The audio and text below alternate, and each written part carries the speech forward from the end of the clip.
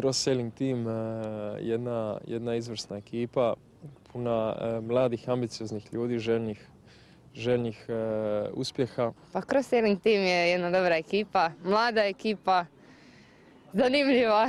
Svi su onako dosta simpatični i dobri. Mislim da, smo, da se dobro slažemo. Zajebano. reži, reži. Ovaj, odlično, stvarno. Čini se da smo svi u timu, prva liga, svi se zajedno družimo.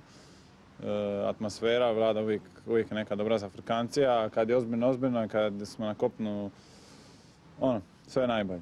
Puno dobrih e, profesionalaca, šta znam, svi su dobri jedriličari, dosta se trude. Mi smo jedna dobra banda, e, mogu reći, dobrih momaka i cura sa vrhunskim trenerima, vrhunskom pratećom ekipom i nadam se da ćemo samo biti još jači. Isto tako da ćemo biti vrhunski primjer e, mlađim generacijama koje će doći i stati u naše cipele za četiri godine. S dolaskom ožujka kreće sezona olimpijskog jedrenja. Proljeće u Europi, pa potom kuda ih plan regata i priprema odvede. Život u kombiju, s prikolicom s brodovima i trenerskim gumenjacima. Dobro si rekao da je filozofsko pitanje. Pa život jedriličara nije baš e, kao život ostalih sportaša. Mislim da svi ostali sportaši onako imaju puno manje opreme, putuju avionima i onako mislim da im je život puno komotniji nego nama. Mi se za svaku regatu spremamo dva dana dok spremimo trajlere, gumenjake, sve to ukrcamo. Onda u kombi sjest pa putovat jedno 20 sati, vozat se u kombiju, tako da nije baš lako i ugodno, ali jednostavno smo navikli i tako već 10-15 godina radimo i to nam je nešto normalno. Stalno smo na putu. Kući maksimalno možda tjedan do dva tjedna smo kući između regata, ali uglavnom, uglavnom si stalno sa koferom u ruci. 5 do 6 dana traje jedna regata, 11 plovova. Svaki je važan, svaki detalj je važan. Od pripreme jedrilice, osobne spreme, poznavanja regatnog polja do taktike i strategije. Puno je čimbenika koji utječu na rezultat u ovom kompleksnom sportu. A ono što svaki jedriličar vrlo brzo nauči je da mora biti strpljiv. Iskušenja nose dani kad se čeka. Kao i uvijek, čekamo viter. Onda možemo čekati tipa do 3-4 popodne, 5, ako je ljeto i duže. I, i da, i onda to bude e, loše za živce. Meni je to super. Meni je to odlično zato što znam da su tada svi nervozni, a u principu onda samo trebaš ostati hladan i čekat da drugi ispaljuju, a ti lipo samo brojiš kako jedan, drugi, treći pomalo puca i onda izađeš na more, ako je dan regate i ako se može jedrit, eh, odradiš svoj posao dobro i to je to. Kad ide dobro, onda si uvijek strpljiv. Kad e, ovaj, ne ide baš, kad nisi zadovoljan, onda naravno ti ja bi šta prije ići na more, pokazati da, da možeš bolje.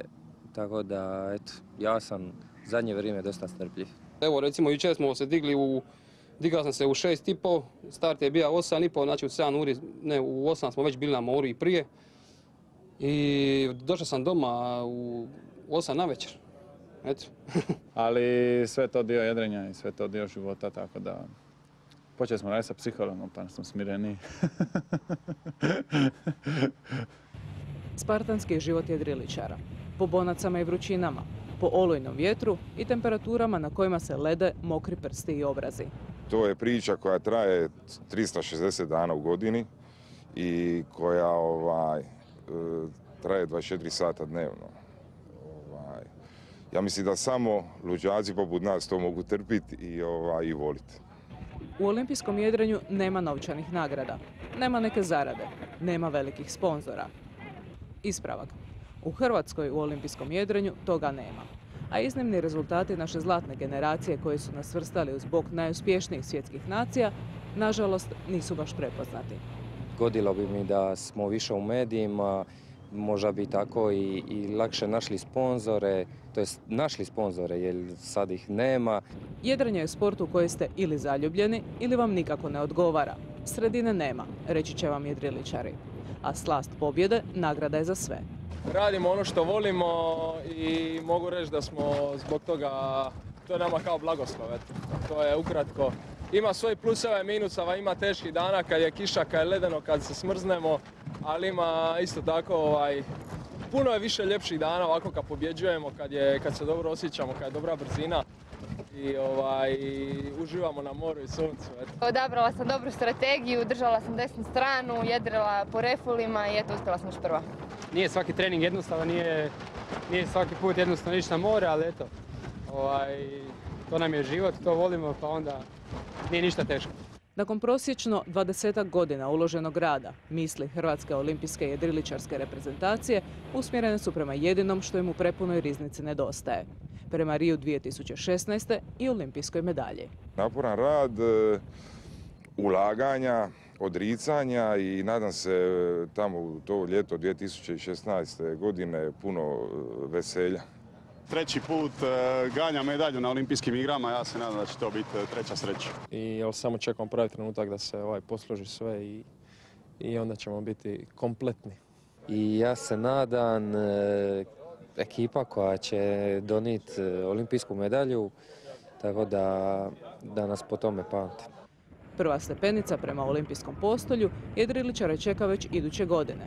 Olimpijske kvalifikacije na svjetskom prvenstvu u španjolskom Santanderu. Sretno kroj jedrima.